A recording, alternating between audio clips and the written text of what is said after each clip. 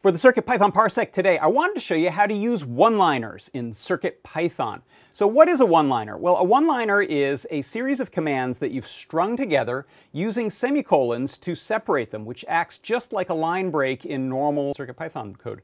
Uh, we can string together a few little commands in order to test something, debug something, achieve an effect. Here you can see I've got a little text file essentially of some of these one-liners. Go to your REPL and then hit Control C to break the code. It'll stop the code from running, stop the current cycle of code, and now you essentially get this command prompt where you can talk to your board.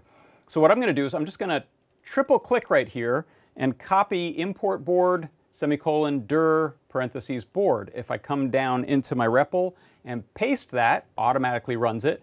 Uh, and now we get the list of pins that are available on this board. I'm going to grab this one. You can see this line here. It imports board, imports NeoPixel, then it creates a NeoPixel object named LEDs, and then I'm going to fill it. In this case, fill it a purple color. So if I come down here into my command prompt and just hit paste, you can see it ran all of those separate commands, strings them together, and now I've changed the color of that NeoPixel. So this is a way that you can use one-liners inside of CircuitPython to speed up your debugging. And that is your CircuitPython Parsec.